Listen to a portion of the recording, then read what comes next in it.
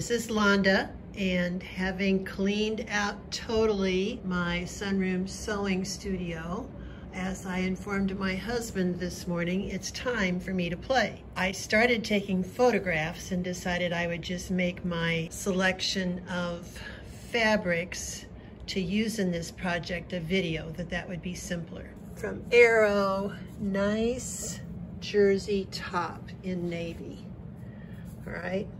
I'll put it on my dress form here in a minute. Then I had already pulled together with it this scrap of a rayon. Actually, this it wasn't a scrap, this was a skirt. Here, let me stand up.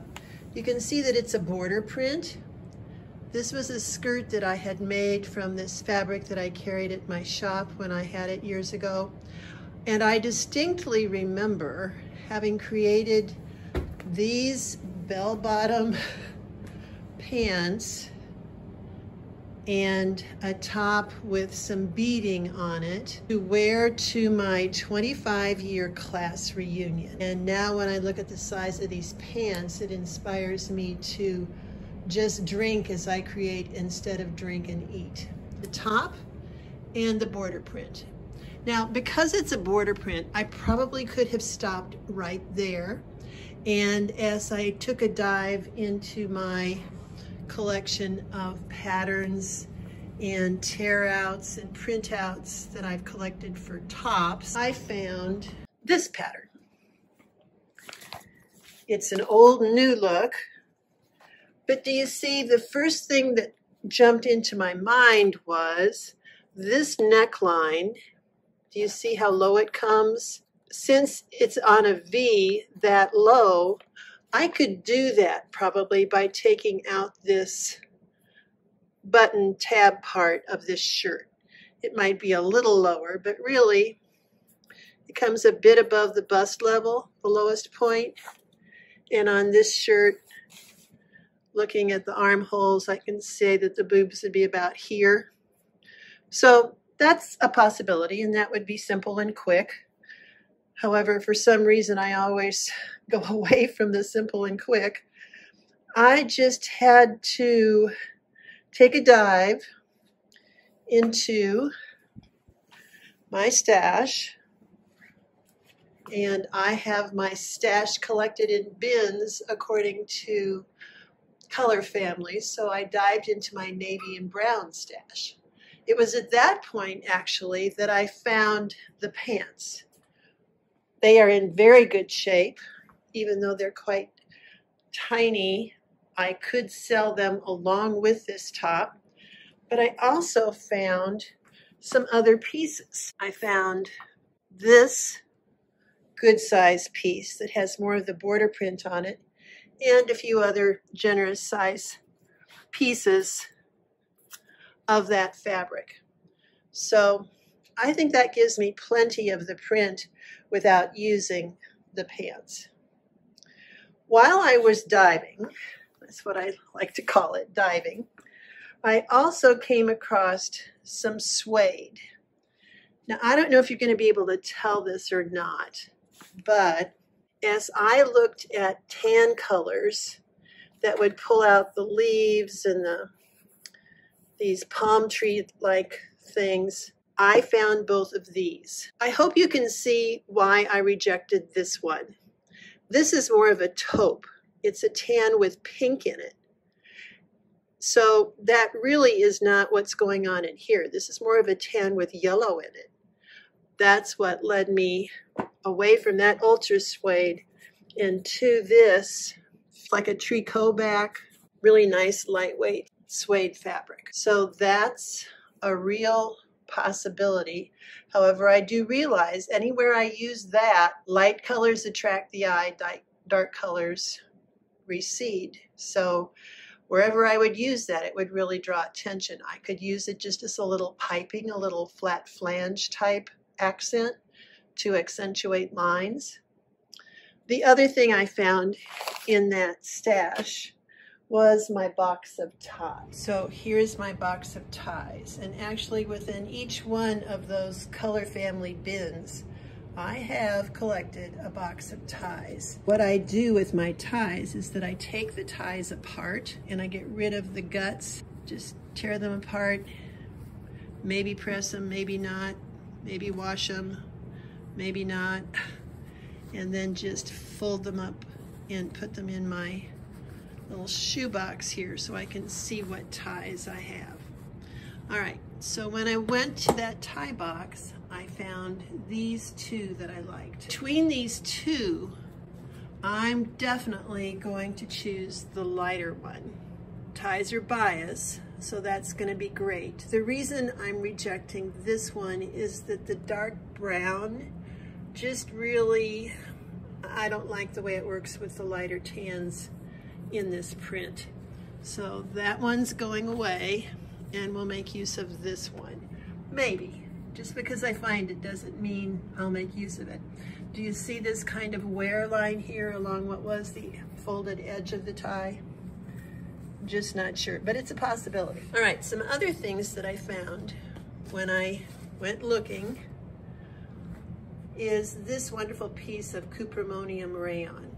It's very drapey, but it's really more of a almost black. I know it doesn't look like that, but it's a dark navy and it just has a different, you know how navies are different and blacks are different? I actually found two pieces of this, which is a, a wonderful fabric. So that one got rejected just based on color. I also had this piece. Again, this is more pink, it's more taupe. This is a dress that I purchased at a uh, resale shop. So that one got tossed aside. So here I am, likely with these three things, maybe the tie, maybe not. I might use the tie and not the suede or vice versa, but that's what I have to work with. What about design? I, I think, I don't think, I, I know that people feel like I just start or that any designer just with fabric and comes up with the ideas. Well, that may be the case for some people, but that's not how it works for me. Do you see here, I have one bin of ideas for jackets, some of my patterns and things, and I have another bin for tops. I quickly went through this and let me just run through these possibilities. This is a line drawing that I printed out from the internet of Butterick 6564. I, I'm pretty sure it's a Marcy or Katherine Tilton pattern. Very honestly, I don't need to go spend the money on the pattern. I can look at this and take that division of space and use that as the inspiration to create this top. But that's not the only idea I got. There's this photograph. Again, as I am out there on the internet, if I see something that I like, I do a screenshot, file it in one of my computer folders, and then print it out. I have to have it printed out. This is easier to me than keeping it on my computer. But again, do you see there's really, it looks like three different fabrics here. So that gives me an idea of what I could do looking at clothing. That's certainly a suitable way of using a tie. Just appliqué in this manner. The tie would curve like that, but the tie that I'm using, well, no, I don't think so. Here's another one. Well, kind of swingy, interesting, perhaps. We'll keep that in the maybe pile. This one, to me, the fabric has more drape than what is shown here. So this is for some stiffer type fabrics in my opinion. It just doesn't take advantage of the drapey, swingy quality of the rayon print. So I'm gonna reject that one. Here's another. The focal point there is those buttons. So, yep, this is all one fabric, just cut on different grains, but I could see that might work. And here's just the back of yet another one. So I have plenty of ideas, springboards with which to work. So next I think it's time to go look at the buttons. I think I'm just showing off here because I took so much time to clean everything out. Let me start with this wonderful old tin. I can honestly remember sitting with my grandma at a cardboard table, sorting through buttons, matching them all up, threading them on heavy thread. Right now this has just little miscellaneous buttons in it, but at 68, closer to 69, I'm starting to think, I've got so many precious things. I just want somebody to know someday if by chance, hopefully it would mean anything to them. And I think that might be the case with my dear new daughter-in-law, that this is my Grandma Rup's button box, all right? Then I took my blacks and I separated them into basic black and gray jeweled buttons and great black buttons. These are jars of cashews, cashew jars from Aldi's, which I think are just great for storing buttons. And you note that they even are separated into bags within here. And there's my metallics. But here in this cookie tin are my white and cream and to cover buttons. So that's the one I'm gonna dig into. And this one has colored buttons, mother of pearl and abalone. Um, I might wanna look in there. And this was a box that my mom, it came with cookies, but this was a box my mom always had in her sewing room. Well, let's see what we can find in the white cream box. Here is my tan button collection laid out. Definitely too yellow. Don't think I want to introduce any metallic into this, and there's only one. Now, if I go with this neckline, I certainly don't have to have three matching buttons. It could be three totally different or two and one.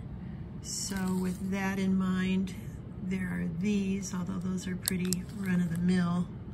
These are very small. Um, this is a wonderful toggle. I don't know. That deserves more of a coat type piece. These definitely have too much pink in them. And again, not of the right character. These antler type buttons, um, those are really special to me. Those came from a furry plus heavy knit coat that my mom had. So those are really special and I don't really think that this garment is gonna be one that I will keep. It will be one that I will sell. So the idea of letting go of those special buttons, it, I'm not gonna do that. I do have, however, I have three of this one, which tends to be on the little bit yellower side. The other thing that I note on them is the very rounded character and um, there is really no, well, here's some, some roundy type lines. So perhaps, although they really seem a little too yellowy, this one especially has a, a gold or blotch on it. So not really liking that. Several of these, but they have this brown blob on them. Um, not sure. These mother of pearl buttons I have, and I really kind of like those, and I have three of them. So at this point, I cannot decide for sure, and that's how it usually goes. But I'm going to, after auditioning these guys, I am going to keep out this, two of these, the best two of those, and these here and these mother of pearl buttons. Always consider the back side of just a two-hole button. That might be better than the front. Always an option. Gets a little pinky. But again, as I say, these are going to be the buttons that I keep out for maybe, maybe not, putting into this garment on the ties, this is the right side of the tie, and here's the wrong side of the tie, which generally doesn't have the spots that you might find on the right side of the tie. So I'll keep that in mind as I work. So here's my collection. I have put those buttons that I decided upon in a bag so that they're less likely to get misplaced. I have, as I laid out my ideas, I have for the time being set aside these two inspiration papers and settled in on these. There was one that I had neglected to point out, and that is this one. And what I like about this is just the, uh, the different fabric, in this case it's a solid, that goes down the shoulder and down the top of the sleeve. I could see that that might be interesting, especially if I leave the rest of the garment more um, simple. So that's where I'm at. And now I'm gonna go put this together into a video to share with you.